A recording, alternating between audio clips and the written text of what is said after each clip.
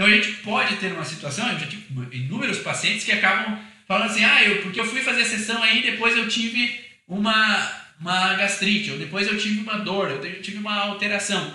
Então, sempre que o paciente tem um sintoma que eu vejo que não condiz com a fase pós-estresse, vem aqui que eu vou te olhar.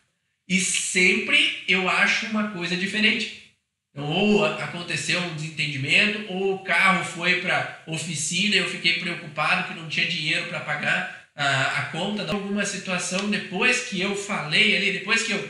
Ah, a mãe trouxe o filho para a sessão e aí depois à noite o pai e a mãe vão discutir sobre aquilo que foi falado na sessão e deles acabam brigando e a criança volta a ter sintomas. Tá? Ah, não aconteceu nada, não melhorou os sintomas. Aconteceu alguma coisa em casa? Não, não aconteceu nada. Gente, então vem para a clínica que a gente vai dar uma olhada de novo.